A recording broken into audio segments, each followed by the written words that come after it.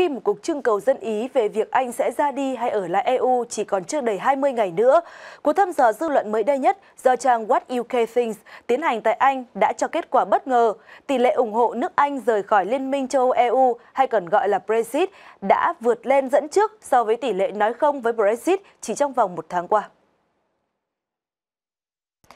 Theo cuộc thăm dò của What UK Thinks, hiện có 51% những người được ủng hỏi ủng hộ Anh rời khỏi EU so với 49% người phản đối Brexit. Cuộc thăm dò này đã hỏi ý kiến cả những người đang lưỡng lự trước quyết định Anh nên ra đi hay ở lại mái nhà chung châu Âu. Cuộc thăm dò dư luận mới trên được tiến hành từ ngày 3 đến ngày 5 tháng 6. Cuộc trưng cầu dân Ý tại Anh về vấn đề nước này ra đi hay ở lại trong EU sẽ diễn ra vào ngày 23 tháng 6 tới.